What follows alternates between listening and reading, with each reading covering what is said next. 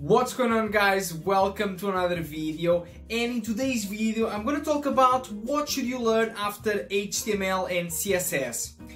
Alright guys, there is a lot of people asking me this question but in particularly uh, Creative Girl and Captain Alpha, uh, two of my subscribers in here, they asked me this question. Let me get started with this kind of situation in here with the HTML and CSS. You guys obviously start with this kind of thing with HTML and CSS, but there is a lot of you that you get stuck into the part of the CSS. You feel like, ah, uh, do I need to master CSS in order to for me to go after to JavaScript because I don't want to go to JavaScript before I know uh, CSS really well. I feel like I need to know 100% of the CSS and I'm gonna tell you something in here. We always feel like this. And I'm gonna tell you something else.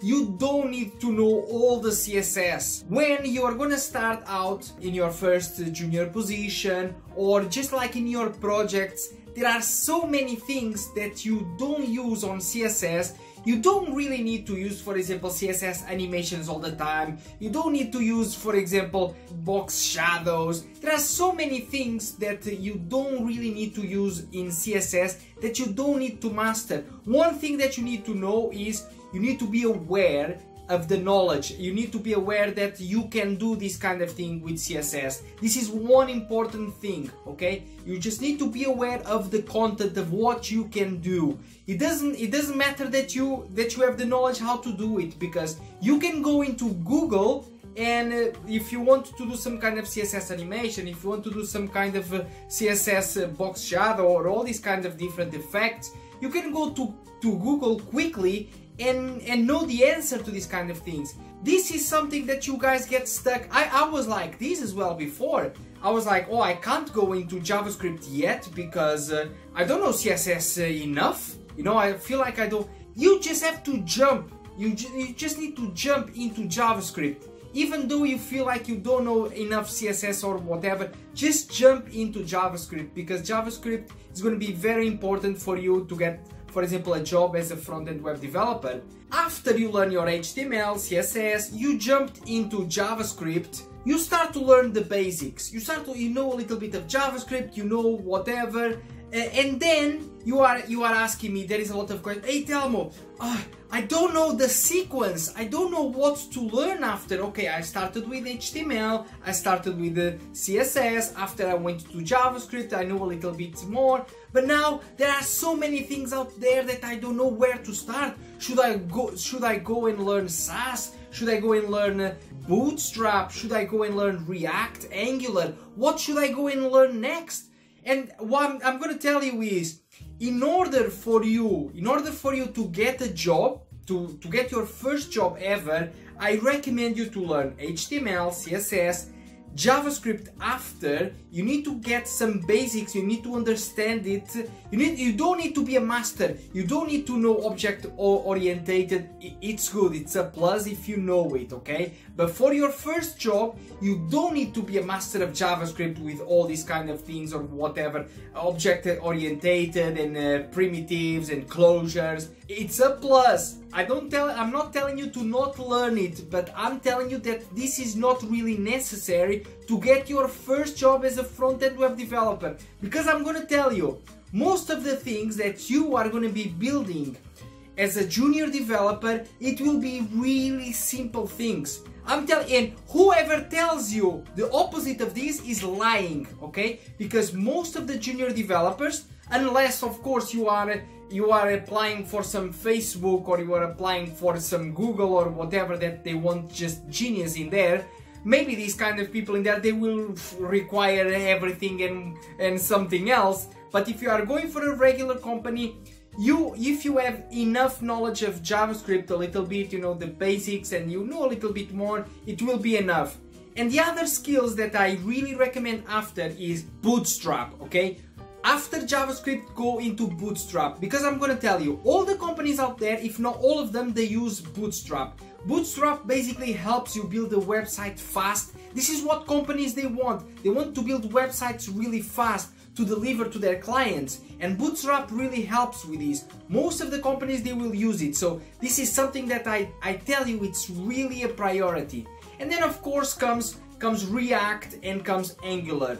But I'm gonna tell you, if you are someone who has already dedicated some time learning JavaScript, you are already very comfortable with it, if you know JavaScript well, you can even tell them that you know well JavaScript and if they are requiring uh, React or Angular, most likely you can even learn it at the job. And this is this is another thing that I wanted to cover about the learning topic. You guys are going to learn the most, you're going to increase your knowledge, your skills, everything about web development, about coding, about building pages when you are in the actual job. Not at home. At home when you are doing these kind of tutorials from YouTube or from Udemy, this is not how you learn.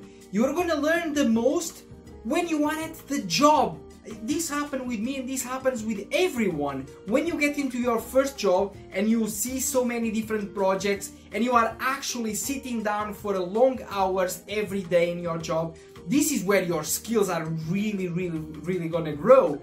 And, and, and look at this. You are learning, you are getting paid for learning and you are becoming a better developer okay?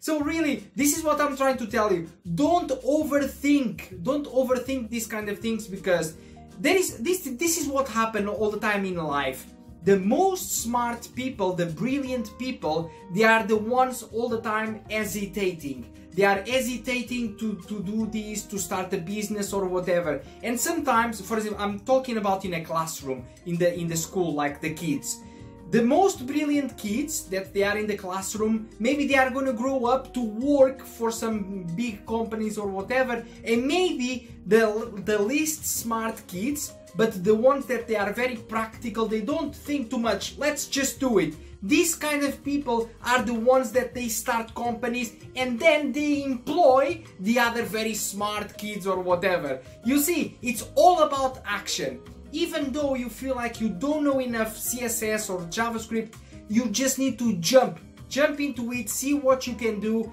and start to apply for jobs.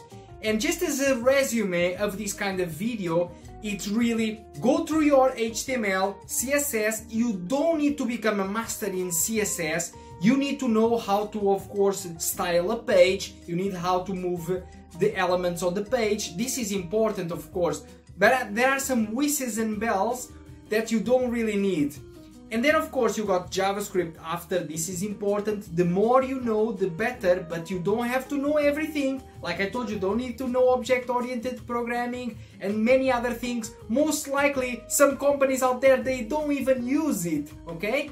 And then what I really recommend is Bootstrap, okay? Bootstrap is really important because all the companies using and then of course you got React, Angular, Vue.